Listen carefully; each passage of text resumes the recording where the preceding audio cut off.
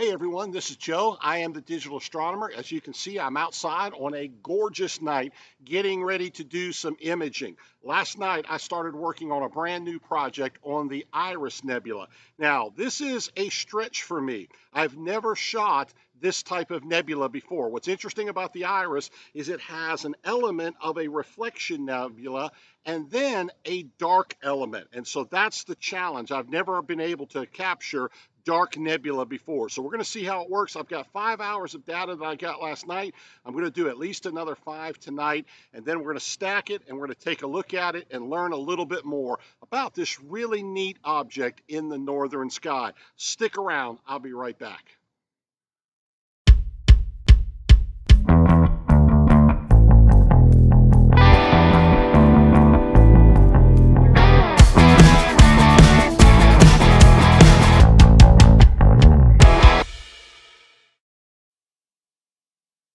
Okay, as always, I want to give you a little bit of instructions on how to find this object in the night sky.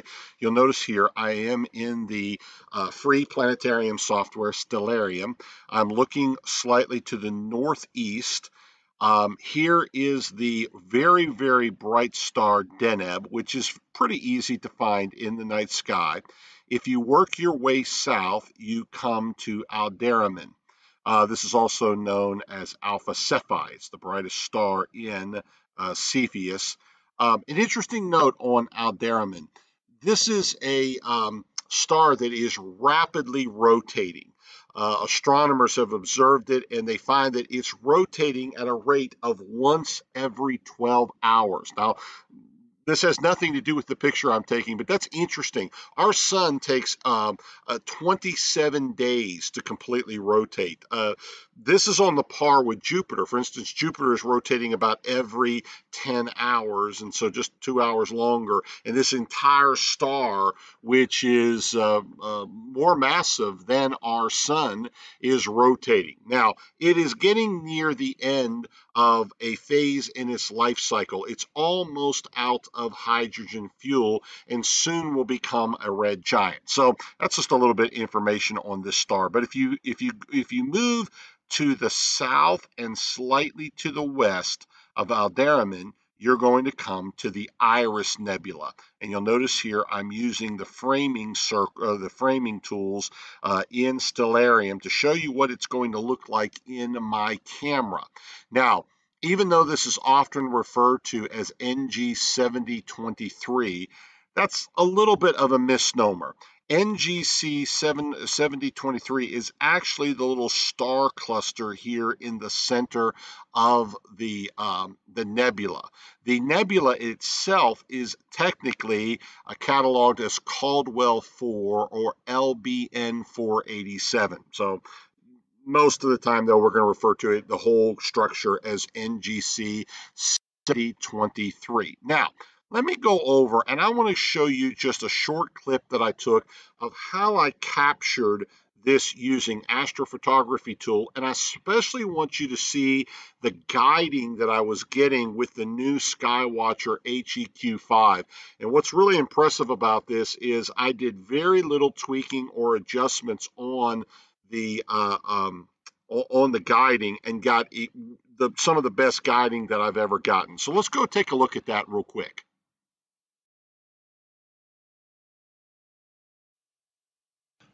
Okay, I thought I would just, uh, I don't usually show a lot of the capture video on here, but I thought I'd take a minute just to show you what I've got. Um, I have already captured about 30 images tonight. This is what they look like. Now, this isn't all that impressive, but you can see the Iris Nebula here. Let me take the crosshairs off so you can kind of see it. I'm using uh, astrophotography tool. This dark area where you're not seeing very many stars, of course, that's the dark nebula. This is the reflection nebula in here. Um, you know, again, you don't see very much on these raw uh, pictures, uh, but um, this is looking pretty good so far. I'm getting nice round stars.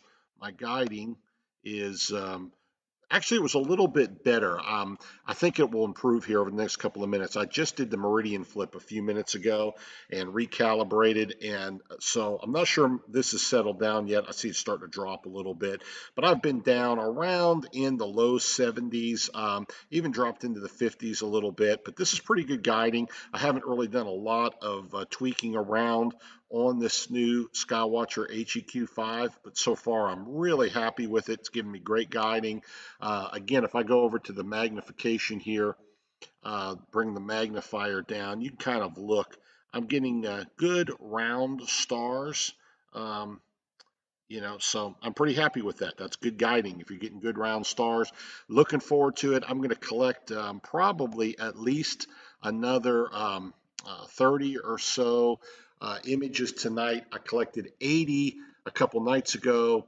I've got uh, 30 that I've already collected, maybe another uh, 30 or 40. Maybe we'll see how we'll see how tired I get. But it's about uh, 12 o'clock now, and uh, I'm going to image for at least a couple more hours, probably up until around 3 a.m.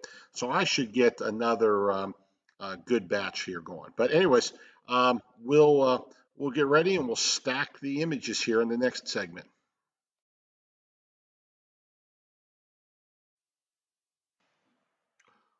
Okay, all told, I collected 148 four minute long subs. That gave me a total of integration time of about 9.8 hours, almost 10 hours. And you can see here in Astro Pixel Processor, I am going to stack uh, all 148 of those lights um, I'm also going to use a master flat, a master dark, and a master dark flat. By the way, with the ZWO 183 MC Pro, I found that using the master dark flat works best. Using dark flats works a little bit better than bias frames. That's my opinion. Uh, others may differ on that, but that's what I decided to stack. Here I went ahead and brought up one of the subs so you can kind of see the data that I'm working with. Overall, pretty good round tight stars. You can see the nebula here.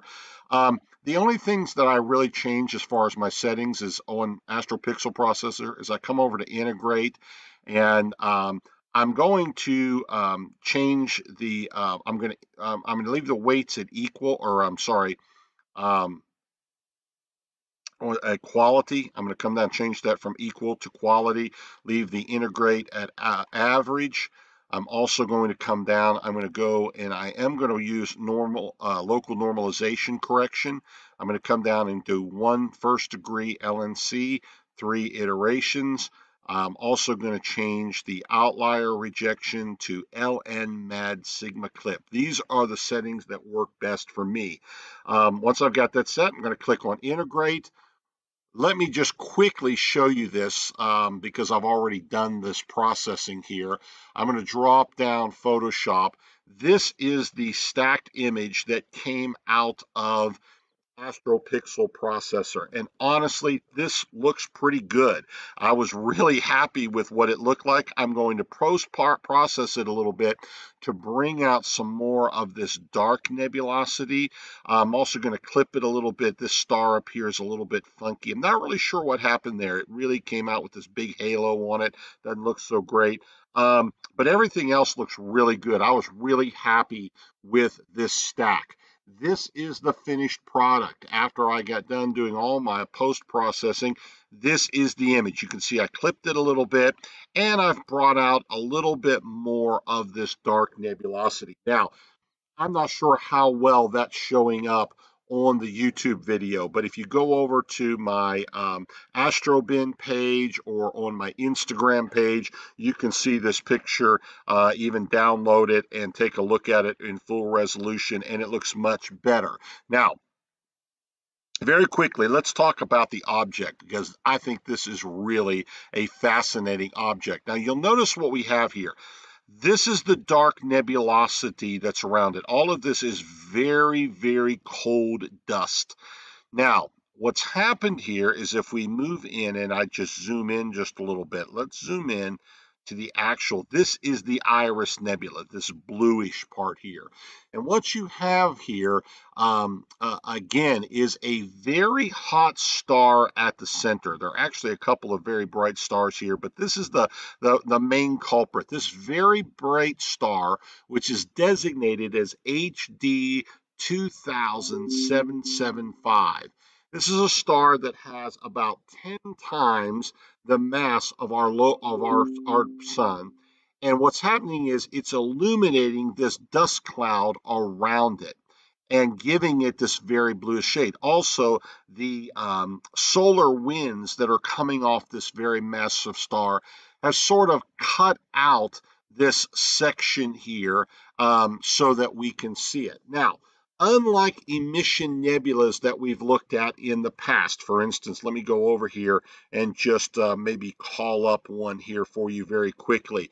An, an emission nebula is very, very different. Let me take a look here and see if I've got one. This is a good example here of an emission nebula. Uh, this is the Veil Nebula. what's happening here is the the the gases here are being excited or ionized by um, by a local star or by some other force. They're being ionized and they're actually glowing. That's not the case that you have here in the Iris Nebula. This is just merely the light from this star being reflected off of this material here at its center. And so we're able to see it. This is my first attempt really at this type of nebula, and I was pleased. Uh, I still have some work to do, and maybe if I went back, and added some more exposure time, I might be able to get out this dark nebulosity to appear very, uh, a little bit more prominently. But overall, I'm very excited about it. I cannot believe how good these stars came out. Look at how nice, round, and tight these stars uh, came out. These are some of the best that I've ever had. That's the guiding that's on that HEQ5. I'm really, really pleased with it. And um, I think that's only going to prove. Well, anyways, that's the Iris Nebula. I hope that you enjoyed this. We're going to uh, hopefully get out um, here in the next couple of days and be able to do a little bit more imaging. Um, I've actually got um, some data from the Eagle Nebula that I, I, have already shown you how I processed that in a previous video, but I would like to maybe just take a look at that and just look at the object and talk a little bit more about what it is. But again, this is a really neat, uh, you get in here tight on this, look at the little clouds that are here. You can see some of the texture that's there. Um, really, really fascinating object. Well, I hope you enjoyed this video. If you did, please do me a favor, subscribe, and also please share it with your friends so that they have an opportunity uh, to see these. And also, hopefully, they'll subscribe and help me build uh, my channel a little bit. I appreciate you taking time to watch it today. Thank you. Just a quick reminder, if you enjoyed this video, please help support me by clicking on thumbs up and share. Thank you.